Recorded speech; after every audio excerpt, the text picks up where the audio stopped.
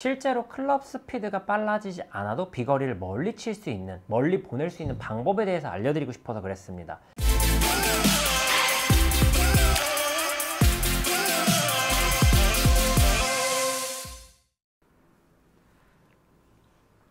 안녕하세요. 배움을 드리는 배우리 프로입니다. 이번 시간에 제가 준비한 영상은요. 비거리 특집 2탄으로 오늘은 특별한 게스트분을 초대했습니다.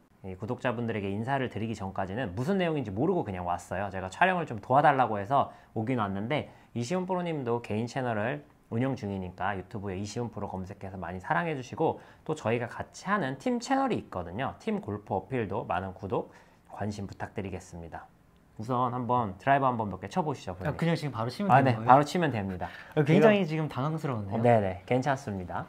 어 지금 이게 시간이 이른 시간이라 몸이 안 풀려서 핑계 대지 마시고 이제부터 이시훈 프로가 원래 평상시 치는 대로 한번 쳐보. 프로님 네 또 영상이라도 세게 치려고 애쓰지 마시고. 그냥 편하게 한번 쳐볼게요. 네, 편하게 한번 몸에서 쳐볼게요. 나오는 대로 네. 지금 오전이라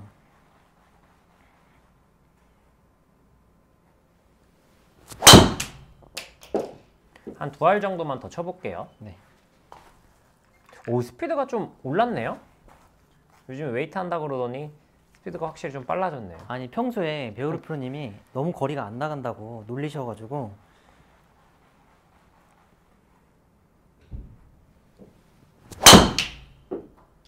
음, 좋아요. 하나만 더 쳐볼게요. 음, 확실히 빨라지긴 했네요. 한 3, 4마일 정도는 빨라진 것 같아요. 보통 100마일 때 초반이었던 것 같은데. 한번 마지막 공 조금 스피드 있게 쳐볼까요? 그러면 어, 네. 한번 있는 힘껏 쳐보세요. 약간 알겠습니다. 말고. 누가 봐도 세게 친다 싶을 정도로.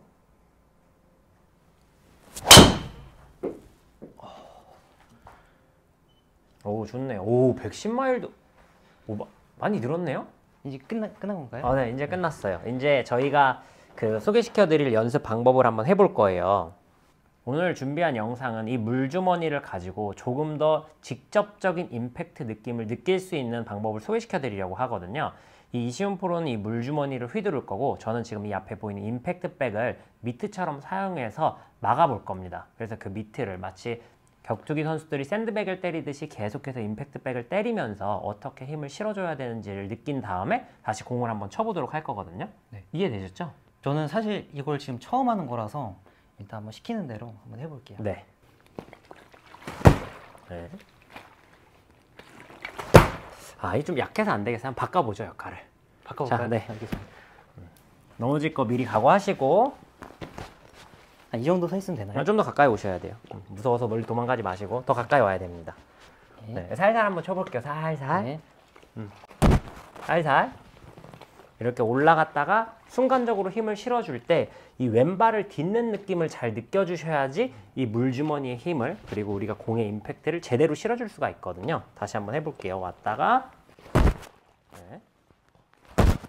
이렇게 어떤가요? 어 이런 느낌이에요? 네. 제가 해도 될까요? 아, 한번 더 해보시죠. 다시. 근데 이게 약간 어떻게 보면 내 체중을 다 실어서 하는 거네요. 그렇죠. 그리고 이 물이 불안정하기 때문에 물의 안정성을 느끼 균형을 잡기 위해서 코어 발달에 도움이 굉장히 많이 되거든요. 그래서 단순히 파워만 기르는 게 아니라 밸런스에도 도움이 굉장히 많이 됩니다. 어우 좋아요, 좋아요. 아 아까 이게 확실히 몸으로 밀어주니까 더 좀 힐리는 것 같아요. 그렇죠. 그 연습을 하는 거예요. 음. 좋아요, 좋아요, 좋아요. 오케이, 오케이. 좋아요, 좋아요. 하나만 더 해보고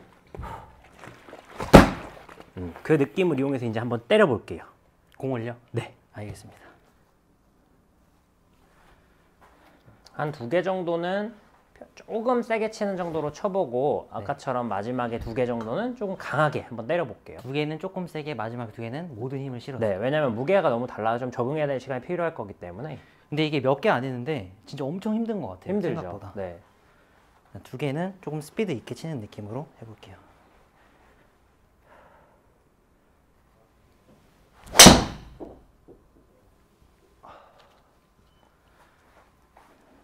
어, 이게 힘이 빠져서 다시 한번 스피드 있게 해볼게요.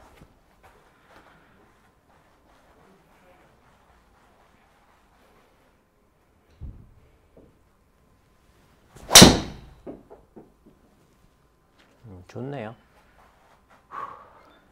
이번에 두 개는 최대한 세게 때릴 최대한 거예요. 세게. 네. 아까 우리 마지막에 세 번째 쳤던 것처럼 우리가 낼 수 있는 최대한의 파워를 낸다 생각하고 네. 물주머니로 공에 힘을 실어줄 때의 느낌을 잘 살려볼게요. 네.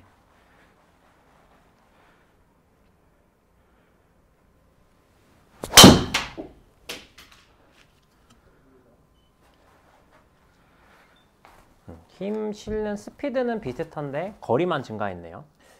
근데 확실히 이게 제가 마지막에 친 거는 이 무게를 실는 거에 굉장히 집중을 많이 했거든요. 네. 그러니까 조금 더 난 것 같아요. 맞아요. 그 느낌을 좀 잘 구현이 될 수 있도록 한번 해볼게요.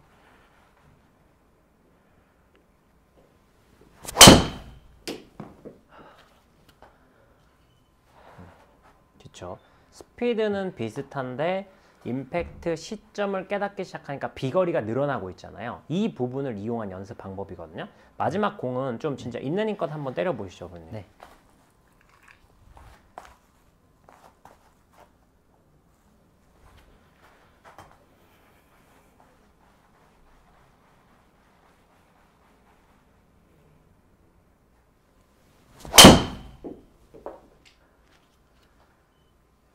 오, 270m 넘어가는 건 처음 본 것 같은데. 처음은 처음은 아니고요. 아, 처음은 아닌가요? 네네. 네. 지금 이 앞에 보시면은 클럽 스피드랑 토탈 거리 이 두 개만 제가 틀어놓은 데는요. 실제로 클럽 스피드가 빨라지지 않아도 비거리를 멀리 칠 수 있는, 멀리 보낼 수 있는 방법에 대해서 알려드리고 싶어서 그랬습니다.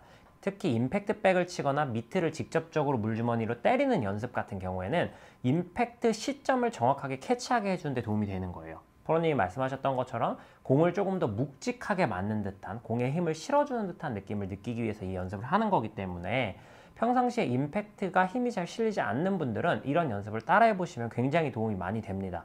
사실 가정에서는 물주머니가 없는 분들이 더 많으실 거예요. 그래서 저한테 레슨을 받으시는 분들은 이 훈련은 평상시에 하실 수 있지만 일반적으로는 물주머니를 가지고 다니기가 쉽지 않기 때문에 임팩트 백을 치는 것만으로도 공에 힘을 실는 타이밍을 깨달으실 수 있거든요. 그래서 평상시에 좀 임팩트에 대해서 자신이 없으셨던 분들은 이 연습을 좀 해보셨으면 좋겠습니다. 네. 늘리신 뒤면 300m까지 늘리시죠.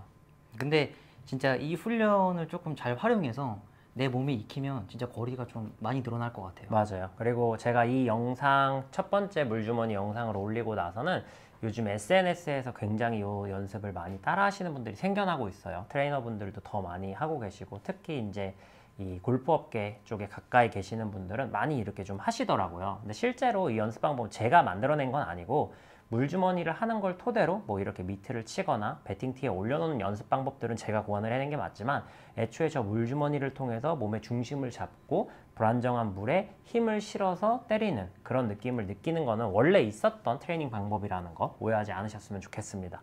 오늘 준비한 영상은 여기까지고요. 이시훈 프로가 300m를 보내는 그날까지 화이팅 해보도록 하겠습니다. 이상 배우리 프로 이시은 프로였습니다. 감사합니다.